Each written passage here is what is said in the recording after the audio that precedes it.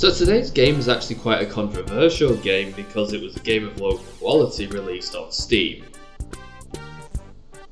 Yeah. That's almost farcical to say now. Jesus, a shitty broken game made by chimps put on the Steam marketplace? What next? But keep in mind, this was 2014, and this was at the time one of the worst games on Steam. Hell, this might have been one of the worst video games ever put on a storefront at that point in time. The game was removed from Steam a while after it came out for reasons that I'm not entirely sure of. It was either quality control by Valve, back when that was a thing, or maybe the developers removed it because of the backlash, I'm not entirely sure. The game was full of stolen assets, some legally usable, like an entire level bought off the Unity store, the same level that was used in Digital Homicide's Galactic Hitman actually, and some assets that are clearly copyrighted such as Delta Airlines safety videos, a screen from an actual Delta Airlines flight terminal thing showing Marley and Me, which is also a copyrighted thing. Admittedly, at this point, it was kind of done and dusted, but you get the idea. There's several pieces of copyrighted music that I doubt they had the licensing for. And I'm also going to have to trust that everything used in this that was bought off the asset store was used with the right licensing. Admittedly, most of it probably would have been, but there's a chance some of it wasn't. I'm actually legitimately surprised that this game has fallen to the wayside as far as controversial video games go, or even just long term memory video games. It got quite a lot of press when it came out, and now, honestly, I don't know if anyone remembers it. Nobody mentions it, no one brings it up ever, it's just one of those things. But hey, trust me when I say this is one of the most broken games I've ever played that wasn't made by Square Enix. So, you end up on the title screen where it plays this music that's slightly stolen, and you quickly realise that the menu moves as soon as you move the mouse, because locking the camera in place is hard. It's quite funny because this game has quite a lot of issues with its camera, like they didn't know how to program any of that shit at all. There's five modes Casual Mode Part 1, Casual Mode Part 2, Realism Mode, and Killjoy Mode, and Coming Soon which never actually came as far as I'm aware. We'll start with Casual Mode Part 1. So there's a prologue of sorts, which gives the backstory and lore to this flight sim. Yeah, you heard me right. And you are seeing the right game.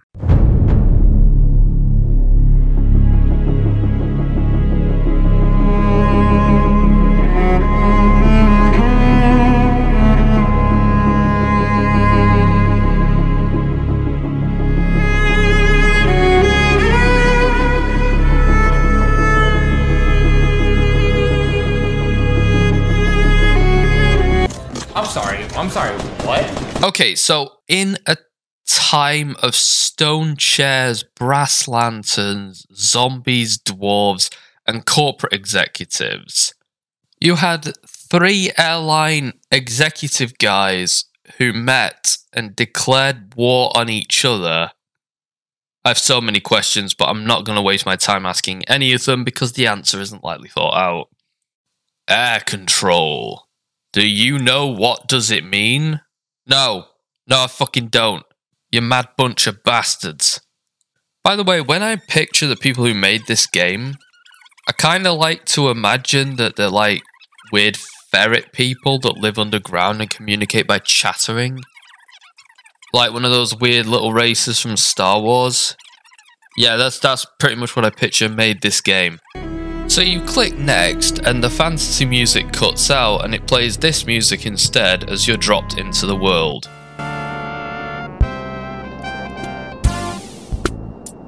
Tone whiplash, what's that? So you immediately get to see the disgusting user interface. It says lock cursor in 10 places on the screen. This command more or less snaps your mouse cursor to the center of the screen or it wanders off screen and causes you to alt tab. So to close it, you need to move your mouse over to this little close button, because the mouse is always on the fucking screen. However, moving the mouse causes the player's head to move around as well, so you end up looking around all over the place like a crackhead looking for the leprechaun who stole his keys. Now, let's take a look at our lovely passengers, shall we? Oh. Oh, you poor fuckers. They all look so uncanny and weird. Hell, they get worse with time, so don't worry too much now. Save that for, well, later. So in this mission you have to walk to the end of the aircraft. The developers of this game weren't very good at the whole game development thing. So virtually none of this game is anything more complicated than walk here or press this. Please, dear, bring the cup of coffee to the old man in the first. Well, if I can't follow instructions as clear as that, I do not belong in the service industry. Thank you, dear. Please, we hardly know each other. Please make up salon. Do you see these pillows? What pill- Oh, those. Okay. So, unlike every other video game ever, you don't look at them to have to have them in your line of sight. And instead, you have to drag your mouse over them and click on them because shitty game design. I feel so fucking stupid. Why did they just throw pillows all over the place? This is such bullshit, man. Thank you, my dear. Compartment is so clear now. Maybe we should have cleared it before the pass. Oh, wait, it was clear up until I gave that guy his coffee. Maybe we should throw off whoever threw them around. Hey dear, would you check out the pilot cabin? Sure, why not? Okay, you are ready. What, were you waiting for me? Why is this plane waiting for me? Oh, now it is time to feed passengers. What are they, animals? You can open your inventory with a button situated in the left. Now please, go to the fridge to replenish your stock. My brain hurts. Now, go to the fridge and replenish your stock. Okay, in-flight meals look good. Cola and meal, please. No bread. You'll get what I give you and you'll like it. So, this part of our journey into Casual 1 ends when I'm told to go to the Customize menu in the left and buy Compartment Modification. Can you find what the fuck they're talking about? So I did my best to fuck around and find out, but had no luck. I mean, honestly, this game is so fuck. I'm looking for a feature that might not even exist. Fuck it. I quit and tried Casual Mode Part 2, but the game broke because of course it did. So I had to quit and restart the fucking thing in order to play it again. Okay, Casual 2. Let's go.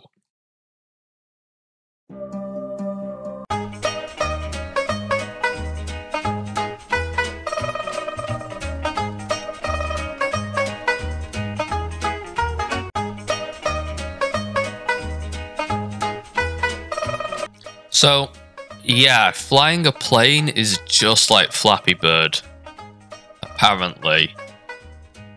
Of course, that's how it works in this universe. I love that if you don't do anything, the plane just falls down and the music starts again from scratch. The first time I saw that, I laughed my ass off. By the way, the music used is Proletaire's Fade Herb Square, which is presumably not licensed for this game, unlike the times that I used it, which were totally authorized. What? Oh.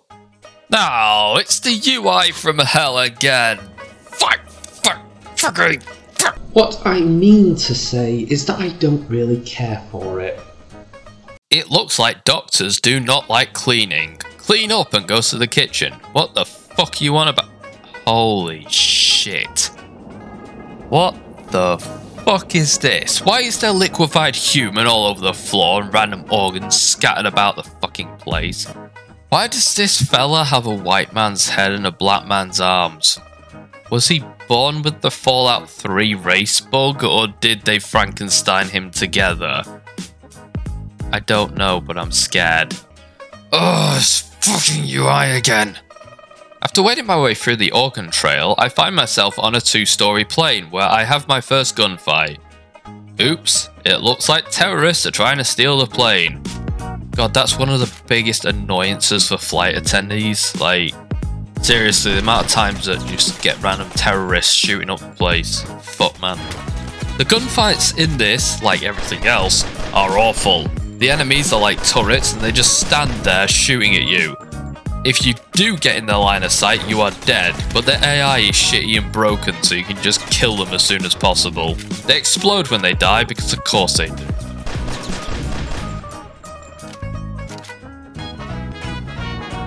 The next mission is air traffic control. I'll give this game one thing, it doesn't lack for variety. I just push buttons until the segment goes away. Airplane is flying up. Oh no, they never do that. Unless it's flying vertically upwards. In this game, that is actually very possible. Yo pilot, what the fuck are you doing? Okay, let's go. So, was it supposed to be flying up? Oh, good. More Flappy Bird. God, that really dates this game. By the way, you can very easily fuck this Flappy Bird segment up through no fault of your own as the frame rate can fuck you over by going too slow or freezing entirely, and you end up crashing because you're basically paralysed or blinded. That shirt might be the ugliest thing I've seen in this game so far. Like, what the fuck, man? Ugh! Look at this poor fucker. So, in this part of the game, you're required to learn a door code, which is really complicated and hard to find out. And by that, I mean you just have to translate four A's into four ones, and you can open the door. Okay, let's go. Is that all this pilot can say? What the fuck? You need to find the reason why airplane fall down. Start. Well, fuck, it looks like I got my work cut out for me. While airplane fall down, guys. While airplane fall down. That's the question. Well, if I use my sleuth skills, I probably see that these passengers were randomly liquefied, and the pilot possibly was as well. And then the plane crashed because no one was flying it who was actually corporeal because they were all liquid.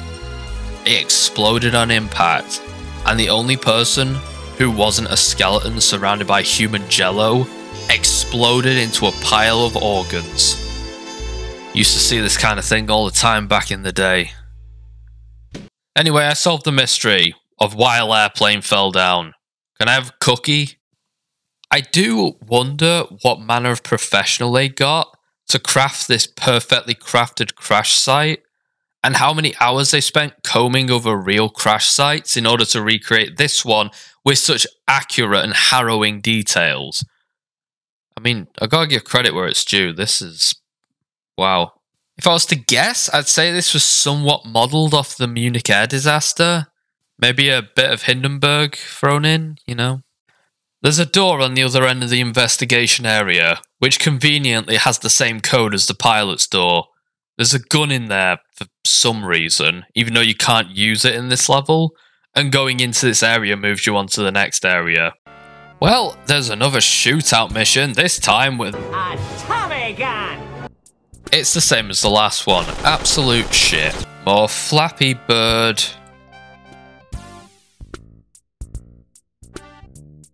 We are then in a ruined post-apocalyptic city. Hello, future. I'm sorry, what? Oh, look, the same fucking bozos are flying the plane in the future as they were in the past. Wait, is that a UFO on the plane? That should have been checked in with the rest of the large luggage. I can't allow this. What the actual fuck? Right, that's it. I'm going to sort this out. Alright, aliens, you can't just tether onto a Turkish airline flight and expect to go unnoticed. They didn't just let any chump airline sponsor Batman vs Superman, you know. Get off before I throw you off. So I step through the tractor beam and get zapped into the Galactic Hitman. No, it doesn't just look like it. This is the map from Galactic Hitman by Digital Homicide. It took them 1,000 hours to make that game, you know. Apparently, it's a bonus level and they present it like it's a real treat.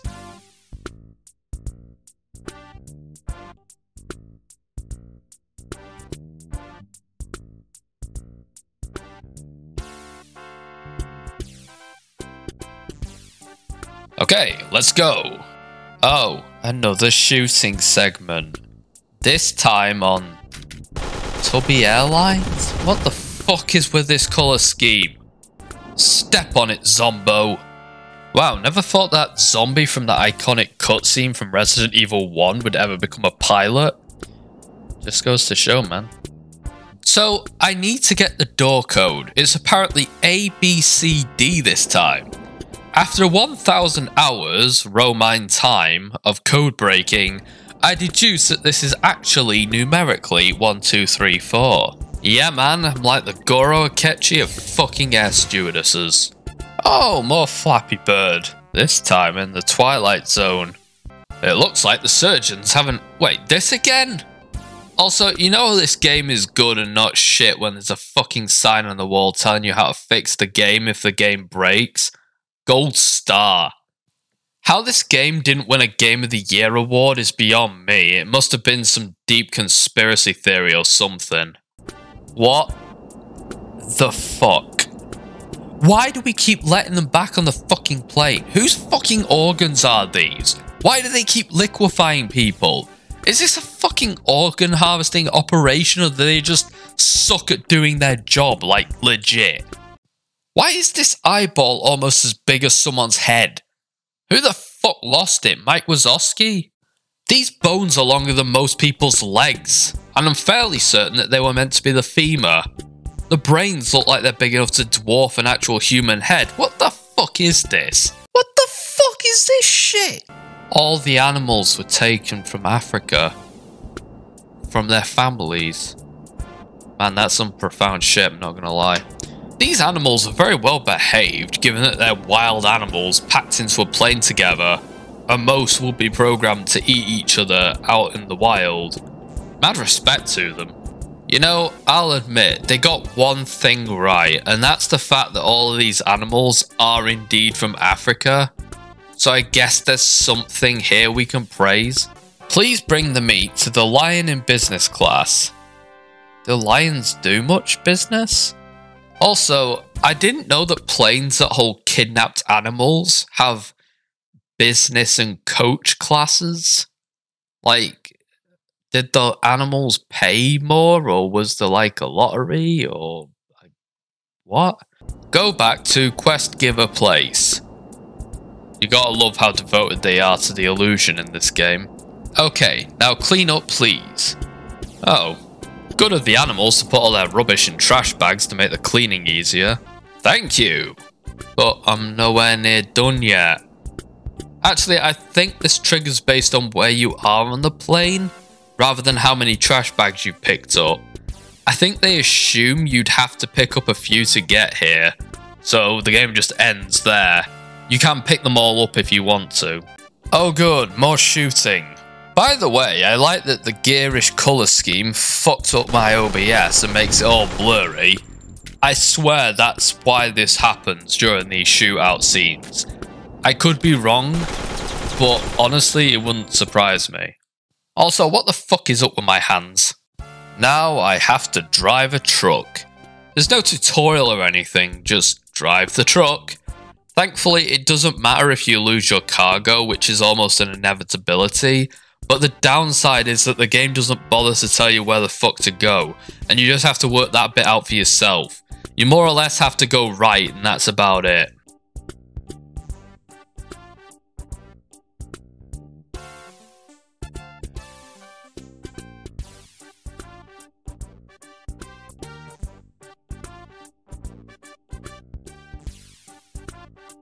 I like how the game finally bothers to tell you what you're doing with life. Oh shit, the plane is flooded? How do I stop it? I guess I just gotta unclog the toilet? No. Well, I tried, I guess we're fucked. Low gravity level? Wow, that sounds really, um... Yeah. Now this is more like it. Burn everything! So obviously, if there's a fire on the plane, the best thing that you can do is run to the back of the plane and activate the sprinklers. Because planes have those, apparently. I like how you have to run past the door in order to do this. Could have just jumped out the plane and saved yourself, but guess running into the fire is preferable. Have you ever thought about how private planes look inside? I know not this way, but this is one more extra. Enjoy! I like how they build up your expectations just to knock them down. Very impressive air control. Of course, if I had a fancy private jet, I'd want a corpse to pilot it. I like that it's full of furniture that would literally slide to the back of the aircraft and just clump up on takeoff, and then do the same thing but into the pilot's cabin on landing. This is a very well designed plane. We then reach this point in the game where I have to start a fucking World War II fighter jet with no prior tutorialization. I've attempted this twice now and fucked it up both times. If you fuck it up, that's it. You're done. You're just stuck, staring at the inside of the craft you fucked up, reflecting on your mistakes. Like buying this game, for instance. This is actually one of the later stages in the game, and there is an ending not long after this, but I've never gotten past this part of the game, as there's a 20 minute gap between attempts, and I'm not willing to do more than two of those. Anyway, there's two more modes.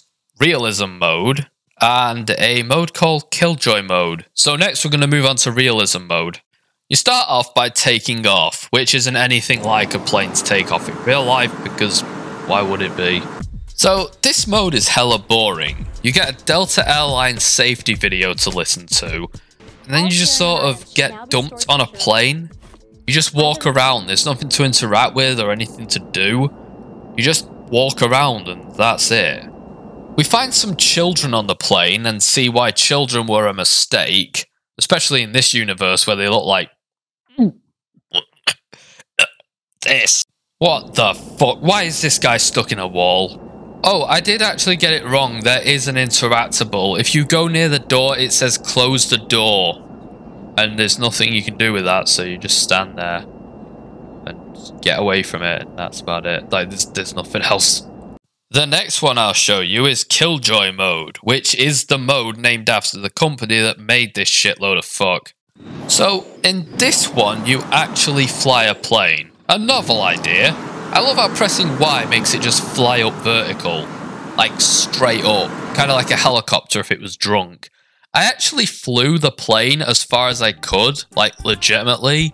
However, I was following this stupid counter thing to try and get me to the destination, and I got hopelessly lost in doing so because it's air control. Of course, that's how this works.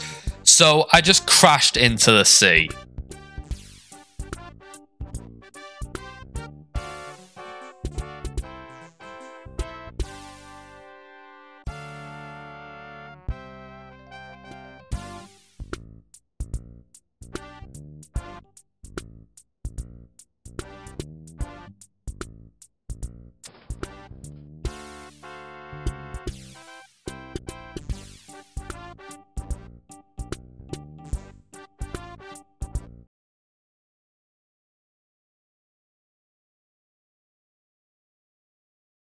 So ends our tale into the world of air control.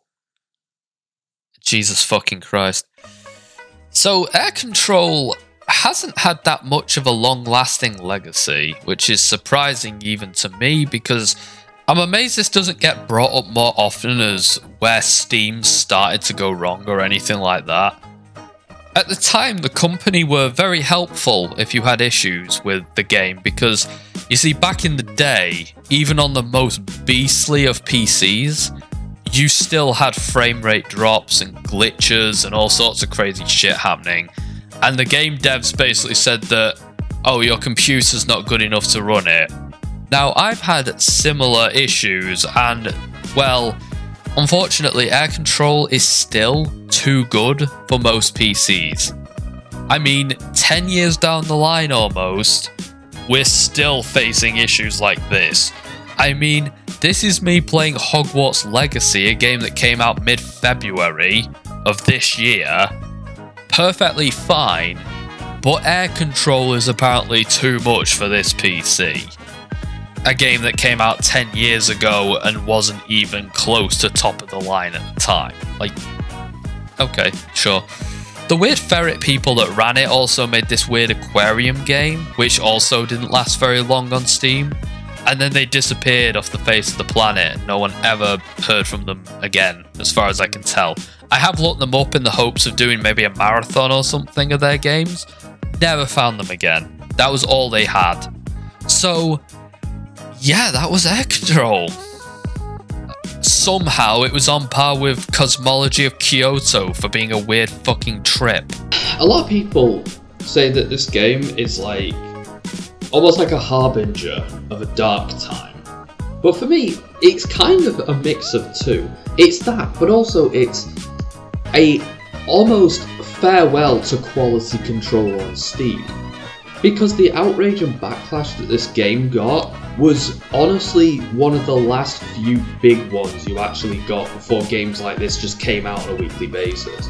And quite frankly, compared to some of the absolute dog shit that I've come across, it's a fucking masterpiece.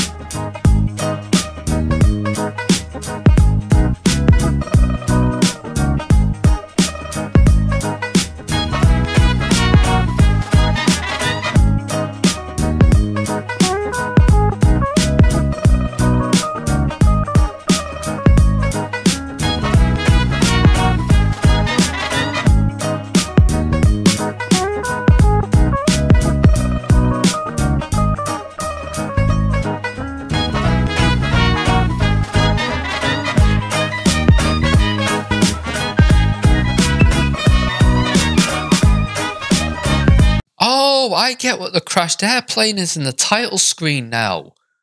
It's me after I crashed into the sea in Killjoy mode. Professor Curious is a fucking spurg.